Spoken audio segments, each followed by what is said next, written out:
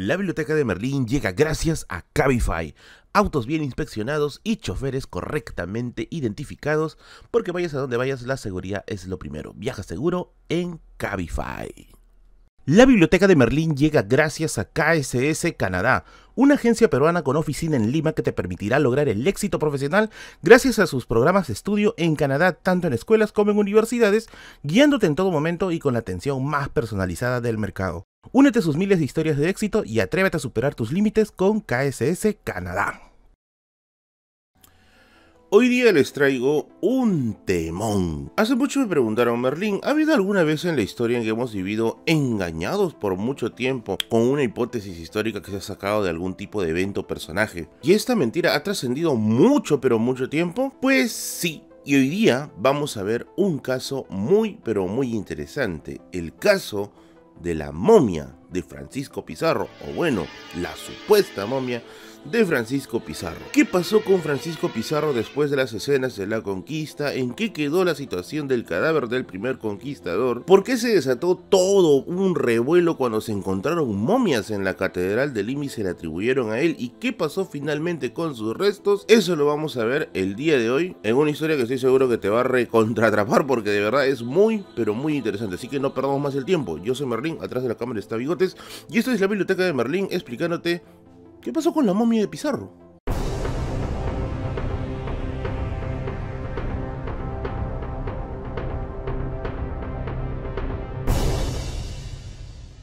Muy bien, para el día de hoy voy a utilizar el siguiente libro y que de verdad te lo recomiendo porque es muy pero muy completo. Lima, el legado prehispánico y la presencia española de Luis Enríquez y Fuentes, un libro editado por la Universidad Ricardo Palme que consta de dos tomos. Esto de verdad es muy pero muy recomendable ya que tiene mucha información acerca de Lima, así que de verdad te lo recomiendo y va a ser nuestro texto para usar el día de hoy. Antes de entrar de lleno con el tema, vamos a recapitular previamente un poco. Después de los sucesos acontecidos en Cajamarca, se va a instalar en el territorio peruano una serie de medidas como por ejemplo la creación de las encomiendas. Básicamente eran centros administrativos para poder ejercer un control sobre el territorio y la población que ya se estaba desmembrando del Tahuantinsuyo.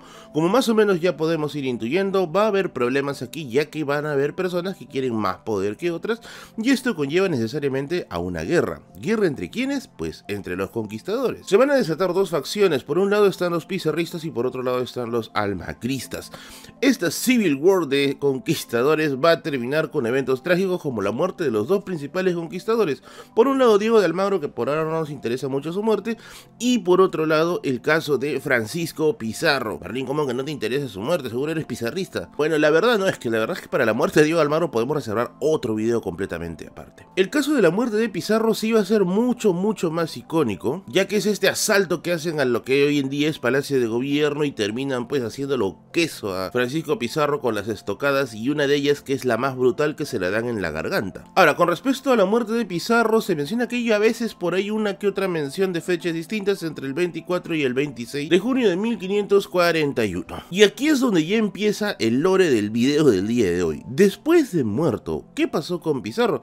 Porque esto no nos suelen contar a veces en los colegios. Pues según el padre de la calancha, se menciona que después de muerto Pizarro, un grupo de esclavos jalaron el cadáver hacia la Catedral de Lima, que tampoco está muy lejos, está casi al frente. Y es allí donde Juan de Barbarán y su esposa deciden darle un entierro rápido. Y tú te preguntarás, ¿por qué tan rápido, Merlin? ¿Por qué la urgencia de enterrar rápidamente a Francisco Pizarro? Y es que se temía de que luego de muerto, los almagristas decapiten a Francisco Pizarro y pongan su cabeza en una picota, como se hacía en la época, y saliesen por las calles a marchar anunciando su victoria. Entonces, antes de que tuviera ese fin, se le decidió dar un entierro rápido para que pueda descansar tranquilamente pero es tranquilamente una de las cosas que nos va a pasar en este video, ya que como vamos a ver, el cadáver de Pizarro va a dar más vueltas que tú en Among Us. En un inicio se sitúa de que su cadáver estaba en una cajita en el patio de los naranjos de la Catedral de Lima. Ahora, ¿por qué de una manera así tan simple, Merlín?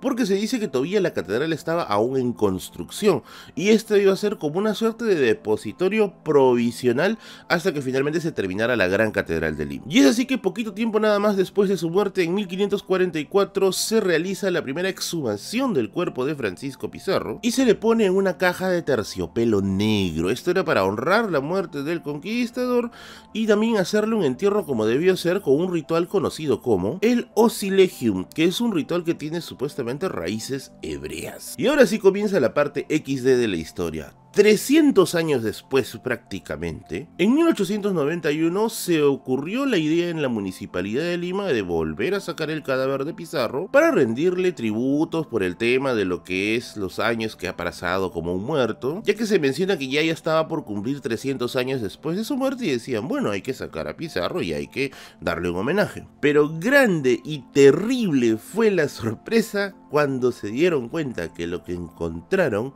no fue los restos de Pizarro, sino una momia. Esto cambió el lore completo de Francisco Pizarro. ¿Por qué Pizarro fue momificado? Eso no tiene ningún sentido. Aparte que eso difería completamente con la descripción de lo que es el cuerpo de Pizarro después de su muerte, como ahorita vamos a ver. Y eso se le añade un caso muy curioso. Y es que había razones para pensar que el cuerpo de Pizarro había sido movido varias veces, ya que se dice que por los continuos terremotos o los movimientos sísmicos que estaban dentro de la ciudad de Lima, o que se daban en la costa, era normal pensar que estos cuerpos se terminaban moviendo de un lugar a otro para evitar pues que la situación colapse encima de ellos. Lo curioso es que inicialmente se confirmó la veracidad de la momia y decían que sí, es la momia de Pizarro. Como vamos a ver más adelante, esto no tenía ningún sustento, pero se vivió con la mentira una buena cantidad de años. Y es que los gobiernos posteriores del Perú, emocionados por el hallazgo, van incluso a hacerle poco a poco algunas modificaciones a la momia de Francisco Pizarro. Un caso muy curioso es el caso del Leguía, el presidente que duró más tiempo en el gobierno en la historia del Perú, 11 años, decidió hacerle un cenotafio con lujos muy bonitos a la momia de Francisco Pizarro, pues se atribuye que era real, ¿no? Y es ahí donde la momia de Pizarro se va a quedar en la capilla de la parte lateral derecha de la catedral hasta 1977. Ahora, ¿Por qué hasta 1977, Merry? ¿Por qué la momia dejó de estar ahí hasta 1977?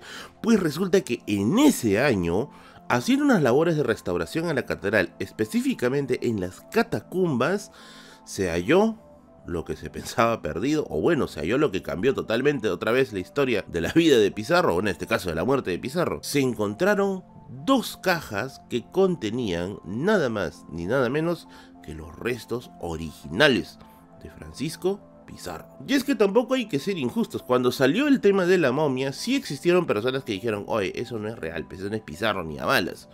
Pero bueno, el sentido común no reina mucho en este país y finalmente él se quedó con la idea de que la momia era el cuerpo de Pizarro. Y es que desde 1905, el investigador Juan Carlos Irigoyen, buscando documentos en el archivo arzobispal sobre la vida de Santo Toribio Moro Brejo, encontró documentos que mencionaban de que uno de los últimos paraderos del cuerpo de Pizarro se podía reconocer gracias a que estaba en dos cajas.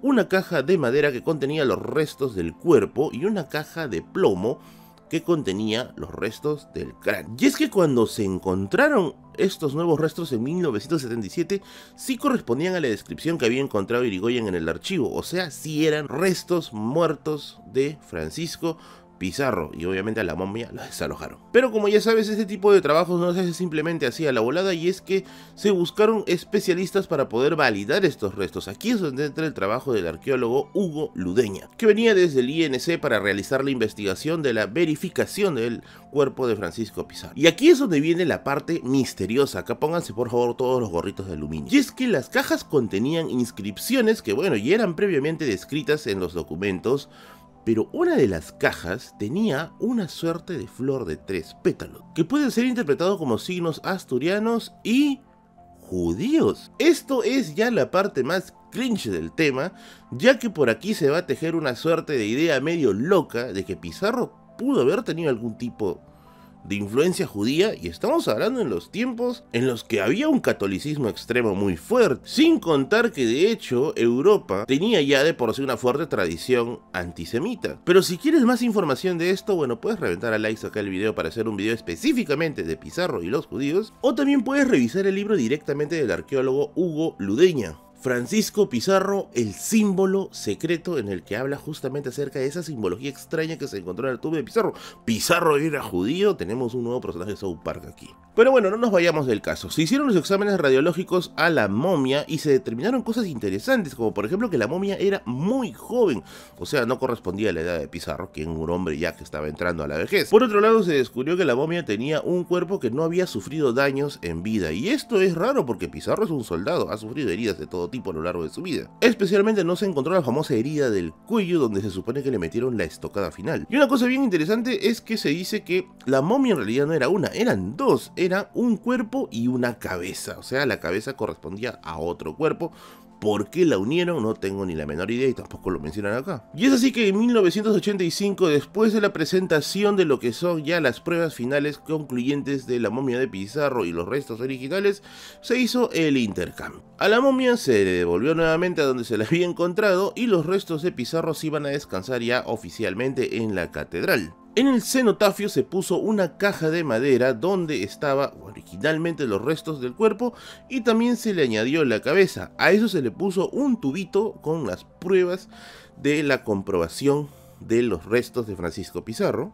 Y esta historia en cierto modo se puede decir que acaba bien ya que acaba pues triunfando la evidencia. Y actualmente bueno si quieres ver los restos de Pizarro los puedes encontrar en la primera capilla lateral derecha de la catedral de Lima. Y ahora, dime tú, ¿qué te parece esta historia? ¿Te parece que hay otros eventos parecidos en los cuales se pudo haber falseado o se pudo haber confundido unos restos? ¿Crees que podría pasar con nuestra tecnología del día de hoy? Porque acuérdate que este es un caso de fines del siglo XIX. Y sobre todo, ¿tú también habrías creído que la momia era Pizarro? Hámelo saber en la caja de comentarios. Este video llega gracias a la librería Solo para Fumadores. El libro que buscas está allí. Libros de historia, sociología, antropología, historia, literatura y más. Todos esos libros que siempre has querido para tu colección, para tu tesis, para tu trabajo de investigación o para tu lectura personal o quizá para un regalo, lo encuentras allí. En Girón Camarán 936 a una cuadra y media de la Plaza San Martín. Ya sabes, Solo para Fumadores está allí con todas las novedades editoriales, con todo lo último en publicaciones y visítalos y checa todas sus redes sociales que tienen cosas muy pero muy buenas. Muy bien amigos, hasta aquí nada más el video del día de hoy. No te olvides que si quieres una biblioteca tan hermosa como esta, vino gracias a mis amigos de Muebles Andina, que tienen promoción este mes. Por otro lado, no te olvides seguir a Carlo Levin, mi músico, lo puedes encontrar en YouTube, que ambienta musicalmente este canal. Y ahora el usuario que lo puedes seguir así en Instagram, que es el animador. Así que síguelo ahí, tiene trabajos muy buenos. Asimismo, todos los jueves y domingos tenemos stream de 8 a 10 de la noche los jueves con anécdotas y los domingos con Radio Misterio. Y si quieres hacerte mecenas del canal, aquí están los enlaces para que puedas colaborar. Yo soy Marlene y nos vemos la próxima semana. Chao, chao.